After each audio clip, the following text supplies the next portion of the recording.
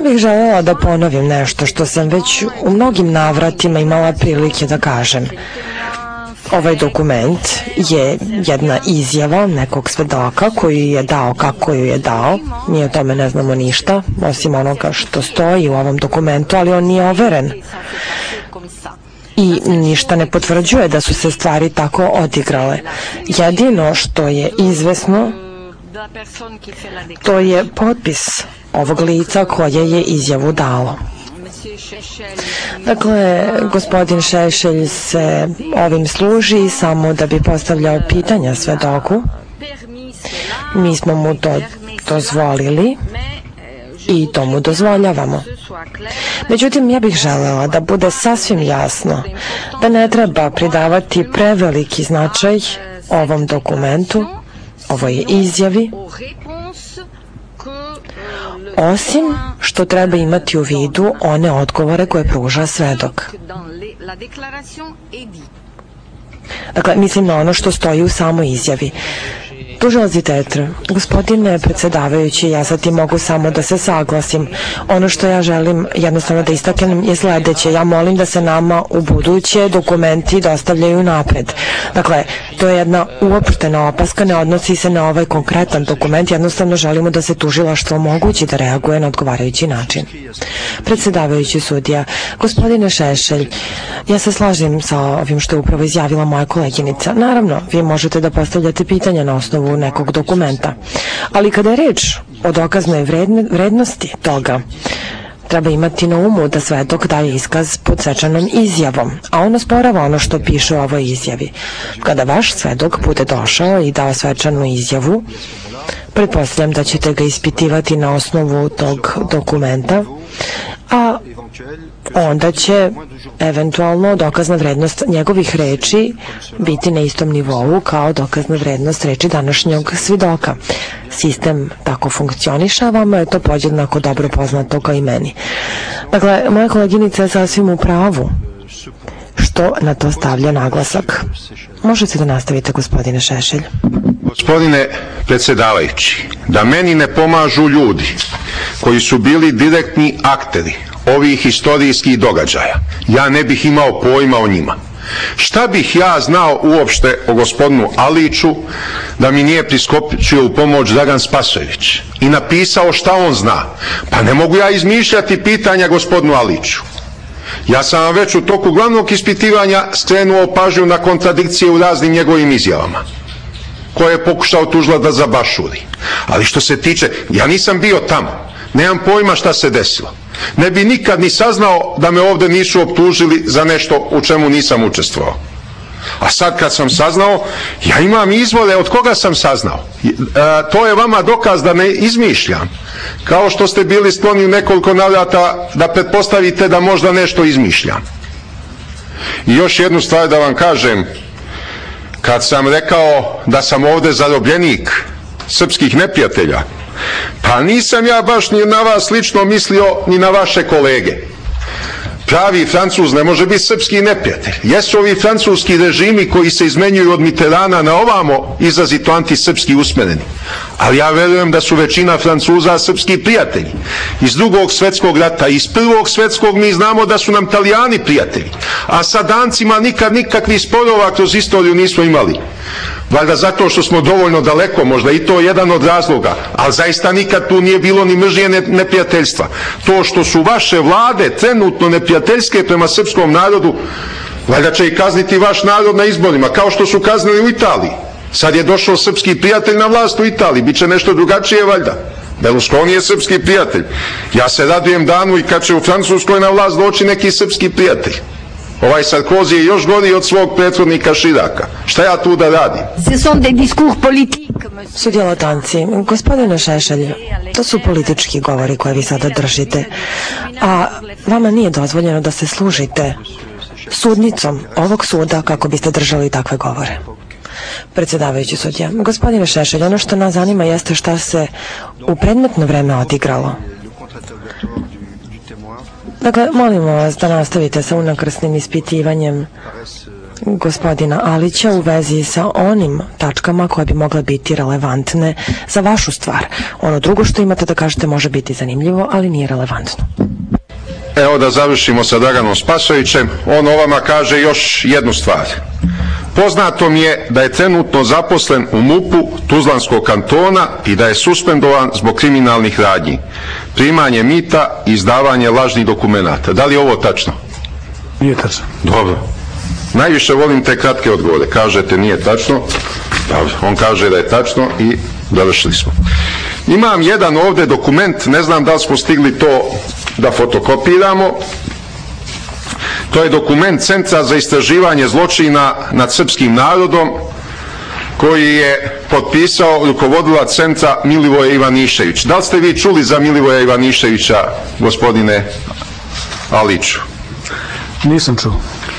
Milivoj Ivanišević intenzivno i sistematski istražuje zločine nad srpskim narodom u Bosni i Hercegovini. Vi znate, bilo je zločina nad muslimanima, bilo je zločina nad Srbima, bilo je zločina nad Hrvatima. Zločini su nesporni. I on se bavi jednim segmentom tih zločina, bavi se zločinima koji su izvršeni nad Srbima. I u tom njegovom centru vodi se i vaše ime, pa ću ovde pokazati jedan dokument da ga kratko komentarišemo, koji se odnosi na vas. Pokažite samo prvu stranu, molim vas, pa se na njoj nećemo zadržavati, prelazimo odmah na drugu stranu. Predsedavajući sudja, gospodine Tužijač, izvolite. Tužilac Ditertre. Gospodine predsedavajući, ukoliko se ne varam, meni taj dokument nije obelodanjen. I to je takođe jedno načelno pitanje u postupku. Predsedavajući sudja, gospodine Šešelj, pre svega koji je to dokument? Jer vaši dokumenti su označeni brojevima 1, 2, 3. Koji je to uopšte dokument? Stavite samo prvu stranu na grafoskop da vidimo broj. Mislim da je broj 2, ali nisam 100% siguran. I... Koji je broj? Broj 2. Možda nismo stigli da kopiramo to. Evo možete vidjeti naslovnu stranu dokumenta. Ako hoćete da ostavimo posle pauze da po ovom dokumentu postavljam pitanja, pa da sad krenem sa dokumentima koje vi imate na raspolaganju. Da sad odložimo to za sledeći bomb. Predsedavajući sudija. U redu.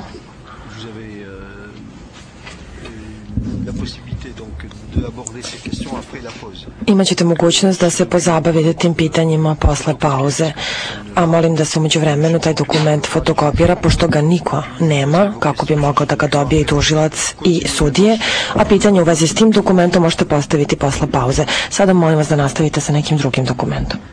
Gospodine Aliću, sada da dođemo do ove četvorice ljudi koji su zaustavljeni na muslimanskoj barikadi prema Karakaju u noći između 7. i 8. aprila. Vi ste u svojim izjavama naveli da su, ti, da su dvojica od tih ljudi imali članske karte Srpskog četničkog pokreta, a dvojica Srpske dobrovoljačke garde, je li tako?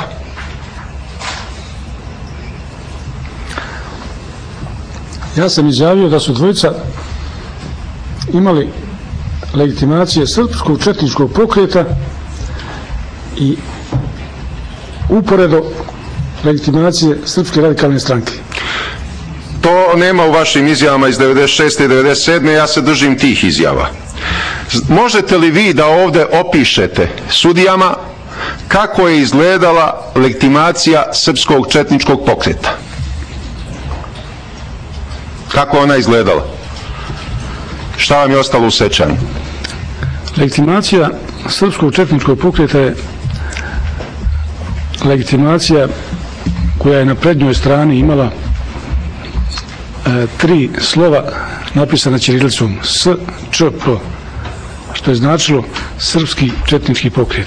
I to je se nalazilo otprilike u, u nekakvom kol krugu preko koga je bila a, srpska trobojnica. Koliko je strana imala legitimacija Srpskog četničkog pokreta? Sastala se iz dva dijela, ot- otvarala se ovako kao, kao bivša lična karta, ali bila malo, u malo većem obimu. A koliko je boja na njoj bilo? Tri. Gospodo sudije, vama je tužilaštvo prezentovalo ovde izgled članske karte Srpskog četničkog pokreta, mislim prilikom saslušanja zaštićenog svedoka 007 ili svedoka pre njega. I tad ste mogli da vidite da je legitimacija Srpskog četničkog pokreta jedan mali karton, bez ikakvih strana i u jednoj boji, da nema nikakve trobojke da je ta boja tamno plava. To je ovde vama prezentovano i to je otišlo kao dokaz u spis pod kojim brojem, ja ne mogu da se setim svih brojeva, ali mislim da se vi sećate legitimacije Srpskog četničkog pokreta. To je možda zaštićeni svedok P007, ovde pokazivao. To mu je tužilaštvo podnelo. Prema tome, hteo sam da vas uverim da ovaj svedok ne zna ni kako izgledala ta legitimacija. Gospodine Aliću, pošto ste naveli za ovu drugu dvojicu da su imali legitimacije Arkanove srpske dobrovoljačke garde, izneli ste da je Milorad Ulemek imao i zašivenu legitimaciju francuske legije stranaca. Da li je to tačno? Da, to je tačno. Pa kad ste videli tako dobro stivenu legitimaciju Francuske legije stranaca, za niste pomislili pa možda ovoga čoveka šalje Francuska legija stranaca po nekom tajnom zadatku. Da vam to palo na pamet? Nažalost nije, jer je uporedo imao i druge legitimacije koje su mi govorile da je pripadnik Jugoslovenske narodne armije, da je pripadnik Arkanovi Tigrova i između ostalog imao i, tu treću legitimaciju. Od te, od te tri legitimacije mogao sam da mislim da ga svako poslao. A čudo nije imao i legitimaciju Srpskog četničkog pokreta kad je takav kolekcionar. Je vas to iznenadilo? Nije me iznenadilo, ali, ga nije, ali nije imao. E sad da ovo razmotrimo. Ako su dobrovoljci Srpske radikalne stranke došli autobusima dan ranije, ako su Arkanovci došli autobusima dan ili dva ranije, otkud sad ova četvorica i da baš budu dva radikala i dva Arkanovca u jednom autu i da zalutaju. Šta vi mislite o tome? Nije mi to poznato. Mišće pokio. Predsjedavajući sudija, gospodine Tužijač, izvolite. Tužijač, izvolite. Tužijač, izvolite. Dijalog se vodi toliko brzo da kada mi pokušamo da uložimo prigovor, to je uvek prekasno. Ukoliko se ja dobro sećam, čini mi se da je svedok već rekao da se ne seća kako su došli, da li autobusom ili ne. E, dakle, u ovom pitanju se svedok navodi na nagađanje. Moj prigovor je malo izgubio na smislu, pošto je svedok već odgovorio umeđu vremenu, ali ja sam ipak želeo da iznesem taj prigovor. Predsedavajući sudija, gospodine svedoče, mi smo već saslušali jedan broj dobrovoljaca i mi smo shvatili da su oni uopšte uzev najčešće dolazili autobusom. Dakle, bili su upućivani autobusom. Kako to da ukoliko su ovi pojedinci dobrovoljci po znacima navoda nisu došli u sklopu neke grupe, već ih ima četvorica u privatnom vozilom. To je nešto što je zanimljivo. Imate li vi možda objašnjenje ili ga nemate, što je takođe nešto što se da shvatiti? Tim pre što dok ste zaslužavali ovu četvoricu, vi ste tada znali da ima srpskih dobrovoljaca koji bi mogli da dođu iz Srbije i s obzirom na dužnost koju se obavljali kao pripadnik policije, mogli ste da znate i to da ovi dobrovoljci dolaze u sklopu konvoja, a ne da dolaze jedan po jedan. I zbog čega ovoj četvorici niste postavili pitanje da utvrdite ko su oni u stvari i šta oni rade. Tim pre što jedan od njih ima legitimaciju Francuske legije stranica. Mogli ste se zapitate otkud ovaj ovde. Donc vos réponses euh, sont, sont pour moi euh, euh, loin loin d'être Dakle, sa moje tačke gledišta, vaši odgovori nisu sasvim zadovoljavajući kada je reč o nekom broju pitanja koje bi čovek sebi mogao da postavi. Ja sam to u svojoj izjavi tačno rekao i stojim za toga. Gospodin Ulemek je imao tri legitimacije. Redovnu legitimaciju Jugoslovenske narodne armije, legitimaciju Francuske legije stranaca i legitimaciju Arkanovih tigrova.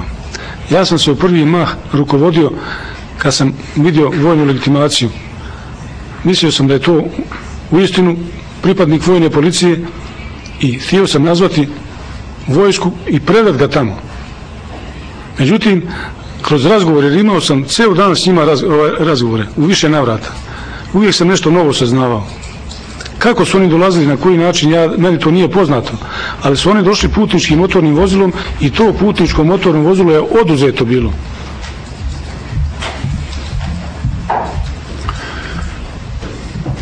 Vi ste, gospodine Aliću, u nekoliko navrata pomenuli kad su ta četvorica ljudi uhapšeni da je bilo mnogo telefonskih intervencija da se oni puste. Da su te telefonske intervencije bile sa nekog visokog nivoa. Možete li se setiti ko je zvao telefonom i tražio njihovo puštanje? Da li je neko iz Beograda zvao? To ne mogu da potvrdim jer sve razgovore je te vodio moj kolega. Da li je vama poznato da je vaš kolega Fadil Mujić, koji je vodio te razgovore, u Beogradskom procesu izjavio, ja ovde imam transkript cele njegove izjave, ima i tužilaštvo, da je iz Beograda lično zvao pukovnik Bošković, šef tadašnje službe bezbednosti INA, neposredno pred unapređenje u general majora. Je li vam to poznato? Nije mi to poznato. To vam Fadil Mujić nije rekao. Ne. Dobro, tužilaštvo ima izjavu Fadila Mujića, pa može da je koristi. Kad ste izašli iz vojnika, opisali ste delimično kako ste izašli, da li ste osim ove funkcije u stanici policije Sapna obavljali još neku funkciju, na primjer neku političku funkciju? Ne. Da li ste bili član ratnog predsjedništva opštine Zvojnik organizovanog u Tuzli? To jesam. Pa to je valjda politička funkcija. Ali to po, po, u, po ulozi posla koji sam obavljao. Molim vas, član ratnog predsjedništva opštine je politička funkcija, je li tako? Načelnik stanice javne bezbjednosti je po funkciji, koji, po poslovima koje je obavljao bio u, u, u, u tom predsjedništvu. Po kom to zakonu? Po zakonu tadašnje Bosne i Hercegovine. Zar baš? Baš tako. Načelnik policije i sapne da bude član ratnog predsjedništva opštine Zvojnik. Zato što je e, stanica policije bila na slobodnoj teritoriji opštine Zvornika, a opština Zvornik je imala svoje ratno predsjedništvo na slobodnoj teritoriji. Znači, vi ste bili načelnik policije cele opštine Zvojnik, a ne samo sapne. Kažem, načelnik policije onog slobodnog dijela opštine Zvornik. Onog slobodnog koji ste vi držali u svojim rukama. To je za vas bilo slobodno, nije za sebe bilo slobodno, je li tako? Tako je. E, znači, vi ste kao načelnik policije za onaj deo zvojnika koji je bio pod muslimanskom kontrolom odgovorni sve, za sve što se dešavalo na tom delu, je li tako? Nije tačno. Nego ko je još pored vas bio odgovoran kao šef, policijski šef? Šef policije sam bio ja. I isključiva je nadležnost bila moja građanska stanja, građani. Na drugoj, na suprot tome je bila vojska. A obzirom da su tamo bili svi pripadnici vojske, ja sam i tu imao vrlo malo posla. Pošto vi niste pomenuli ovaj, ovu vašu političku funkciju, ja sam ovde pripremio izvod iz knjige Mizeta Hamzića, Zvojnik od izbora do Dejtona, gde se pominje vaša uloga, a pošto ste naknadno potvrdili, nema potrebe da ovo pokazujem, je li tako? Ja nisam tu čitao knjigu i I nemam tu šta ni pročitati sigurno. Pa ja sam tu da čitam knjige, gospodine Alić. Od policajca se ne očekuje da čita knjige, nego da rukuje pendrekom, je li tako? A dobro, vi imate vremena ovde, pa možete. Pa da. Prevodioci skreću govornicima pažnju na to da govor u glas nije u skladu sa simultanim prevođenjem. Hvala. Da li su ova četvorica ljudi koji su uhapse, uhapšeni pretučeni tokom hapšenja? Monsieur Séchet, Predsjedavajući sudija, gospodine Šešelj, izbjegavajte komentare zbog kojih samo gubimo vreme. Pitanje glasi da li je svedok vršio neku političku funkciju ili ne. Svedok kaže da nije, a vi kažete da imate suprotni dokaz, jer po svemu sudeći u nekom delu koje nosi naslov posle Daytona, Dayton, Daytona ili tako nešto, naslov nije dobro ušao u zapisnik, autor pominje da je to bilo tako i to je ono što bi moglo da bude zanimljiva ova uloga svedoka. Ali sve dok se naknadno prisetio da je obavljao tu funkciju, gospodine predsjedavajući, pa se ja ne bi više na tome zadržavao. Poenta je bila da je to bila veoma važna funkcija i da je obuhvatala celo područje Zemunske opštine koje je ostalo pod muslimanskom kontrolom posle ovog sukoba 92. Daleko je Zemun, ovaj, gospodine. Zvojnik, zvojnik. Zvojnik je blizu. Pa se ja ne bi više na tome zadržavao da ne gubim vreme. To je samo jedan detalj u svemu ovome, ne naročito važan, ali možda interesantan. Da li su ova četvorica ljudi pretučeni prilikom hapšenja gospodina Aliću?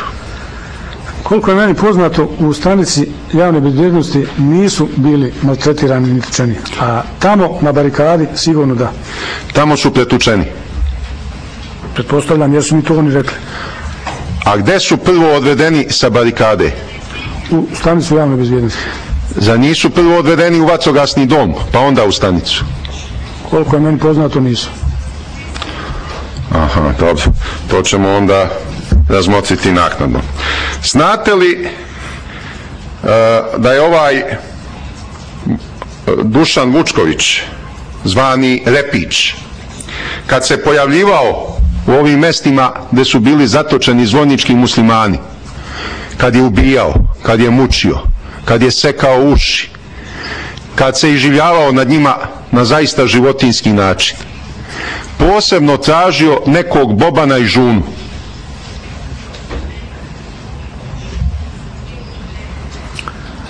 Rekli su mi to, ali ja nisam mogu da identifikujem ko je Boban i Žuna.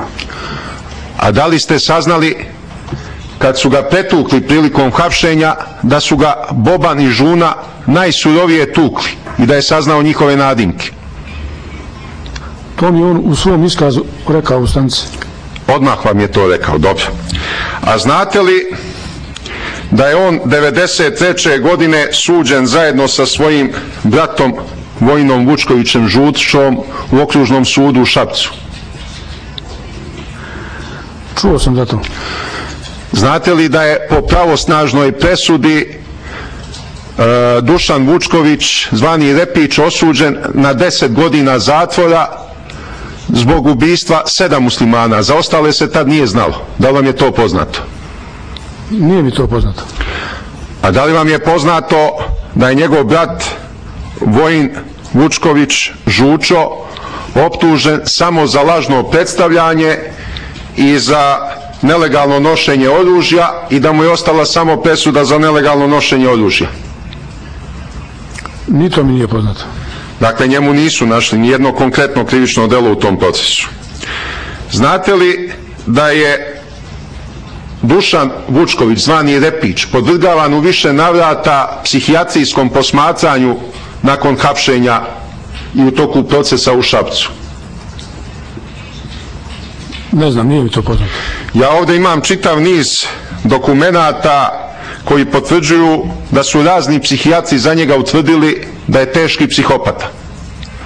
Da li vi sumnjate u to ili ne moram da vam pokazujem ta dokumenta? Tužilaštvo. Gospodine predsjedavajući. Predsjedavajući sudija, izvolite. Tužilac nije uključio mikrofon. Ulažem prigovor. Sve dok nije ni psihijatar, ni psiholog i on ne može da se izjašnjava o ovom pitanju. Predsjedavajući sudija, gospodine de sve dok je saslušavao ovo lice u prostorijama civilne policije u Zvorniku, Možda je ustanovio da je reč o psihopati, možda i nije. Nije nužno biti stručnjak za psihijatriju kako bi se ustanovilo imali neko, neki psihički poremećaj. Dakle, to je pitanje koje bi moglo da bude zanimljivo. Postavit ću ja pitanje svedoku. Gospodine svedoče, na osnovu dokumentacije kojom raspolaže gospodin Šešelj, reklo bi se da su veštaci zaključili da je ovaj gospodin Dušan Vučković psihopata. Kada ste ga vi saslušavali, da li ste imali utisak da on pati od nekih duševnih smetnji, da nije u potpunosti normalan? Šta vi na to kažete? Nisam mogao primijetiti da je, da je bio duševno rastrojen ili, ili uznemiren. A da li vam je očigledno, gospodine Aliću, posle tih batina koje je dobio i u batinjanju su se najviše isticali Žuna i Boban, da je zapravo ta njegova neka sklonost psihopatiji eskalirala do neviđenog divljaštva. Da li je to bio onaj, vi ste policajac, znate iz vaše prakse, kad čovjek prođe kroz tako nešto, da može da mu se pomrači svest i da onda spreman da uradi nešto što u normalnoj situaciji nikad ne bi.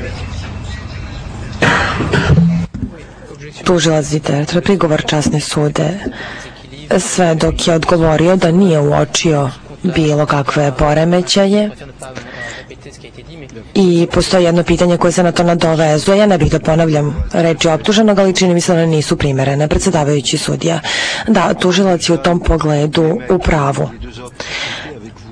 Gospodine svedoče, kada su Dušan i ovi ostali bili sa vama, da li ste ih vi premlaćivali?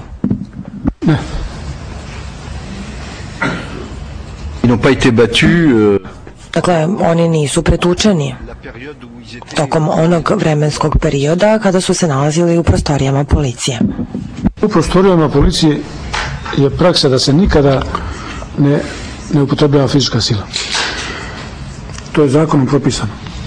Gospodine predsjedavajući, sve dok ja smo u jednome saglasni da je premlačivanje bilo pre ulaska u zgradu stanice policije. Dakle, tu nema spora. Oni su bili premlačeni, sve dok je potvrdio da mu je Repić pomenuo Žunu i Bobana kao one koji su ga pretukli i to nije spojno, a sve dok je rekao da ne zna ko su Boban i Žuna. A to su dvojica ljudi koji su očigledno bili među muslimanima koji su pretukli ovu četvoricu. I šta se tu desilo?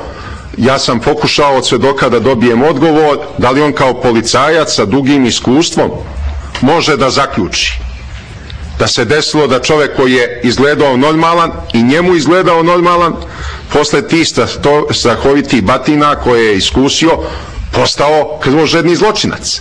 Da li on kao policajac može da dođe do takvog zaključka? Ako to nije primjereno pitanje, ja ću od njega odustati, idem dalje. Ne insistiram, ali meni je to očigledno, pa sam zato hteo svedoka kao policajca da pitam. On je ovde svedok pravde sada, valjda. Mogao bi da se izjasni o tome. rép- Predsedavajući sudija, možete li da odgovorite na pitanje svedoče ili ne? Ne mogu na to pitanje da odgovorim jer nisam, nisam stručnjak u toj oblasti i sve bi ostalo bilo spekulacija.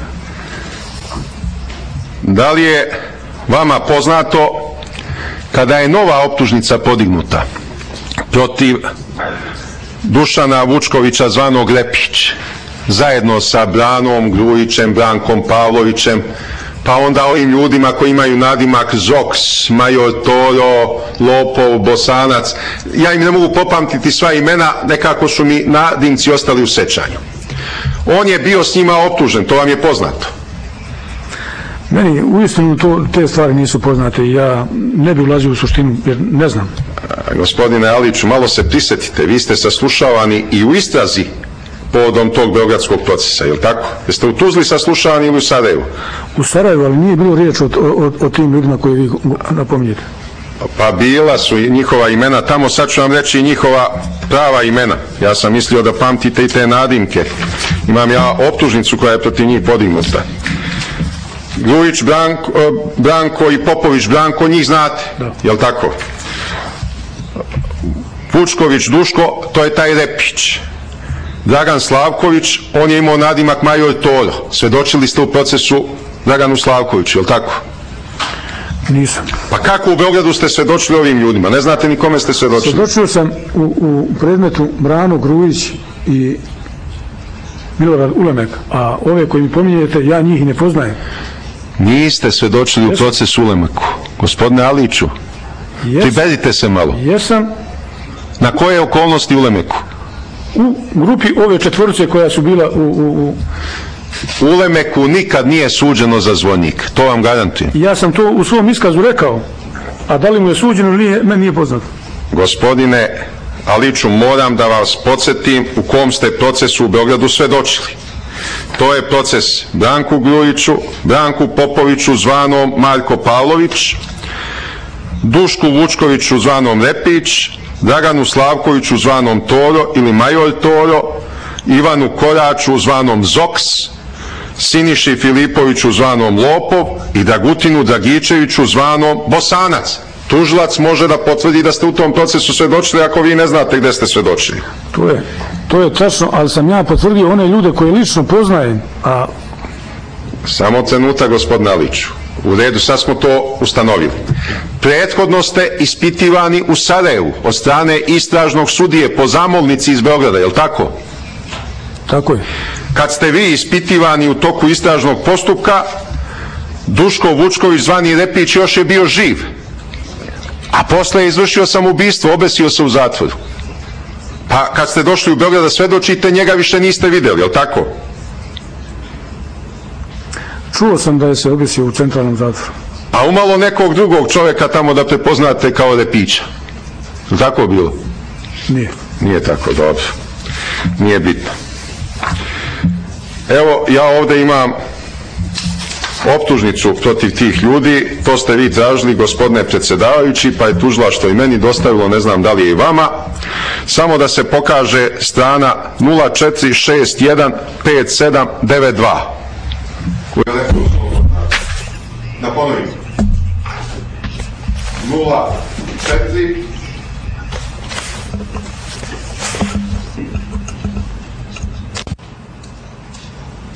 04 predsjedavajući sudac. Zamolili smo optužnicu. Koliko sam shvatio, ona se upravo prevodi, ali prijevod još uvijek nemamo. Dakle, na to još uvijek čekamo. Gospodine predsjedavajući, iste obimne optužnice, ja bi samo jedan mali pasus pročitao sa strane 18. A to može da se vidi putem grafoskopa ako sekretarijat obezbedi list broj 0461 5792. Nemate u elektronskom formatu. Evo onda uzmite ovaj moj obeleženi primjerak pa da vidimo samo taj deo iz optužnice. To je broj koji je tužlaštvo ovde. Ja sam mislio da se osposobilo tužlaštvo za elektronsku sudnicu, da, se- da je problem samo u meni, a vidite uvek je problem u njima po pitanju korišćenja elektronske sudnice. Samo da vidimo taj jedan pasus koji je obeležen. Alors, c'est l'acte d'accusation Predsjedavajući sudac. Riječ je o optužnici iz jednog e, postupka u Beogradu. Tu se slažemo, ali tako? Ovaj aktuelni proces ovoj grupi osu, optuženo je za zločine u zvojniku. Pomen- Pomenuo sam već njihova imena, da ih ne ponavljam. To su imena koja nam se pojavljuju kroz razna svedočenja žrtava ovdje, ako se sećate. I nadimci. Verovatno se sećate nadimaka. Ali mene sam proces ne interesuje u, povodom ovog dokumenta, nego šta kaže tužilac. Ovo je optužnica. On kaže u ovom pasusu Okriljeni Vučković Duško, Slavković Dragan, Korač Ivan, Filipović Siniša i Dragičević Dragutin bili su dobrovoljci koji su uključeni u jedinicu kojom je komandovao svedok Vučković Vojn, zvani Žučo, a koja jedinica se zvala Igor Marković i Žute Ose. Prema pismenoj dokumentaciji, koja je u svemu saglasna i sa iskasom saslušanog svedoka Vučković Vojna, nesumnjivo proizlazi da je ova jedinica bila u sastavu teritorijalne odbrane Srpske opštine Zvornik, te da nije predstavljala paravojnu formaciju van komande štaba teritorijalne odbrane. Jel vi vidite ovu definiciju te jedinice, gospodina Aliću? Vidim. Jel mislite da ova jedinica, na osnovu ovoga što se ovde može pročitati, ima neke veze sa Srpskom radikalnom strankom?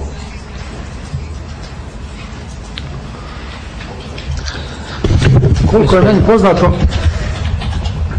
braća Vučković su okolina Obrenovca, mjesto Umka i ni po kakvom načinu nisu mogli biti teritorijalna odbrana opštine Zvornika. Druge države Tu drugu državu su vam priznale zapadne sile, ali je srpski narod u Bosni i Hercegovini nije priznao. Da li je to tačno? Nije spojno da su oni došli iz Obrenovca u Zvonik. Ali vidite šta kaže tužlac u Beogradskom procesu. Oni su tamo ušli u sastav teritorijalne odbrane i tamo formirali jedinicu Igor Marković ili Žute Ose.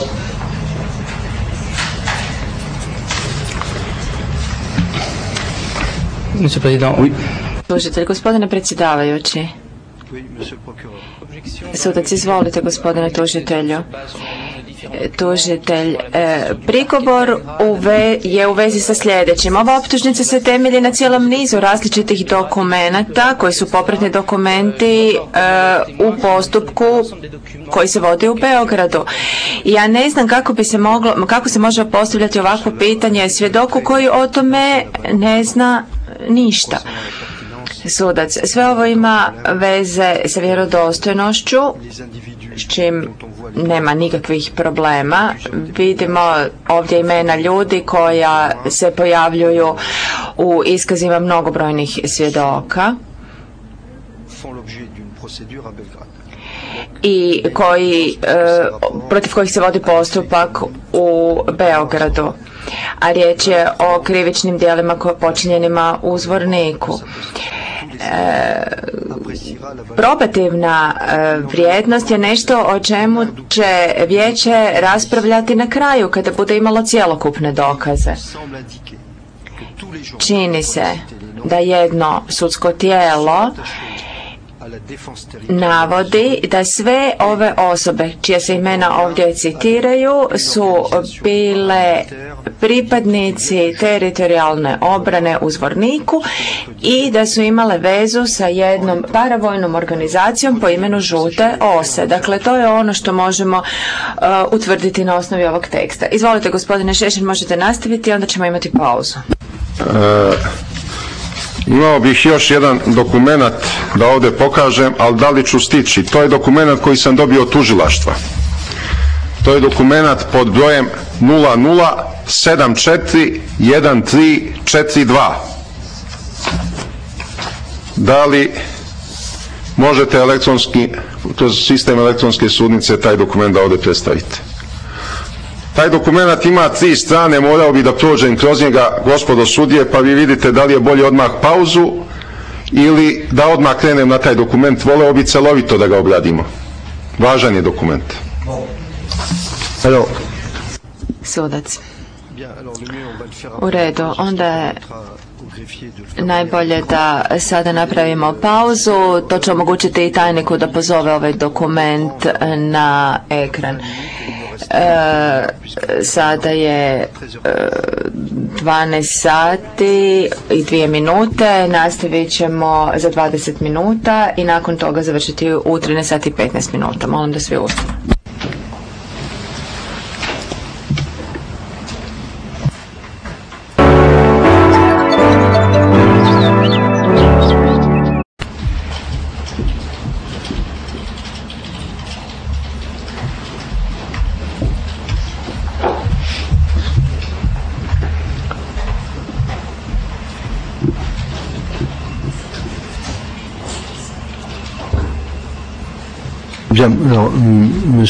Predsjedavajući sudac, izvolite gospodine Šešelj.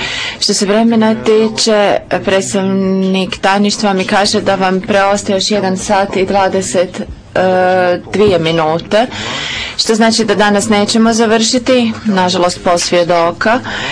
E, bojim se da će svjedok morati doći ponovno sutra, osim ako gospodin Šešelj ne završi do zasjed, završetka današnjeg zasjedanja, to ćemo vidjeti.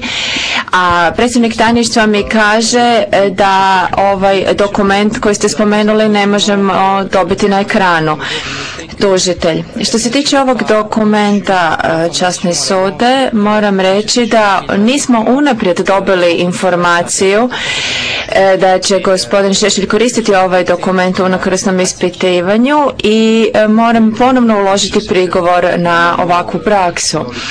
Sudac, pa gospodine Šešelj, normalno u unakrsnom ispitivanju valja pripremiti popis dokumenata koji će se koristiti tijekom unakrsnog ispitivanja. Dokumenti ne mogu stizati tijekom unakrsnog ispitivanja bez najave. Ja znam da se vi suočavate sa cijelim nizom tehničkih problema. Recite nam sa kojim se problemima suočavate kako bismo bolje razumjeli i zašto ne možete ispuniti ovo pravilo da e, dokumente koji će se koristiti tijekom unakrsnog ispitivanja valja najaviti unaprijed. U redu, dajem vam riječ. Gospodine predsjedavajući, ja mislim da ste i vi i vaše kolege svesni da se ja neposredno pred svedočenje jednog svedoka optužbe spremam za unakrsno ispitivanje. Da ja nemam druge mogućnosti. Mene je tužilaštvo zatrpalo ogromnom količinom dokumenata, ja se na to ne žalim. Ali te sve dokumente treba pregledati i treba izvršiti izbor oni koji su upotrebljivi. Tužilaštvo mi je dokumenta poslalo na gomilama, bez ikakve seđenosti. Dokumenta koja se odnose na sve i svašta. Ja bukvalno svaki put trebam mnogo hiljada strana da prelistam, da nađem ono što bi bilo upotrebljivo za određenog svedoka. Vi ste možda primetili danas da sam krajnje neispavan, a to je zato što sam noće svega dva sata spavao. Ja se ne žalim zbog toga. Ali nemojte od mene očekivati nemoguće. Ja nemam 15 saradnika kao tužilac pa da mi to rade. Da ja imam sekretaricu u zatvorskoj čeliji pa joj kažem dok sam ja u sudnici ti mi nađi to i to, sve bi bilo drugačije. E sad, ne da upravnik da zaposlim sekretaricu u zatvorskoj čeliji, a i žena me popreko pogledala kad sam joj prvi put tu mogućnost spomenuo. Šta ja tu da radim? Ja onoliko koliko mogu da postignem, ja postižem. A sad što se tužla žali, šta mu mogu? On je ovo sve morao da ima u sistemu elektronske sudnice. Kad ja kažem broj, on pritisne na taster i da ima pred sobom. Što to nisu spremili? Najavili su pre više godina tu elektronsku sudnicu. Pa ne mogu im ja taj posao obavljati. Allez-y alors. Izvolite, možete nastaviti. Želeo bi ovaj dokument sada da se pokaže svedoku, da bismo prošli zajedno kroz taj dokument. On je interesantan jer je iz 92. godine. A nemate ni dokument, morate moj primjerak. Au. Dobro. To je dokument Srpske službe bezbednosti, odnosno službe bezbednosti Republike Srpske, koje je, mislim, potpisao Dragoljub Andan iz 92. godine. Sad ćemo vidjeti datum i zaglavlje na prvoj strani. To je Srpska republika Bosna i Hercegovina, Ministarstvo za unutrašnje poslove, Centar službe bezbjednosti Bijeljina. To je 20. jula 92. Naslov dokumenta je informacija o bezbjednostnoj situaciji na području Srpske opštine Zvornik. I sad ja bih ovdje polako prošao kroz taj dokument o svakom pasusu da mi se sve dok izjasni. U prvom pasu se, pasusu sada objašnjava situacija na frontovima gdje se nalazi linija fronta prema Kalesiji, Sapni i tako dalje i govori se da postoji delovanje određenog broja paravojnih formacija koje se još uvijek nisu stavile pod jedinstvenu komandu Vojske Srpske republike Bosne i Hercegovine. Jeste vidjeli to gospodine Aliću? To je drugi deo prvog pasusa. To je znači procena Srpske službe bezbednosti. I oni sad u sljedećem pasusu imenuju te paravojne formacije i kažu prema raspoloživim saznanjima službe na području Srpske opštine Zvorinik organizovano djeluju tri paravojne jedinice i to jedinica pod komandom izvjesnog Žuče, jedinica pod komandom izvjesnog Pivarskog i jedinica pod komandom izvjesnog Niškog. Da li ste vi čuli za te tri, kako oni kažu, paravojne formacije, gospodine Aliću? Jesu vam se ta imena pojavljivala u iskazima svedoka žrtava kad bi dolazili iz vojnika na teritoriju pod vašom kontrolom? Da, pojavljivali se. Da vidimo sljedeći pasus.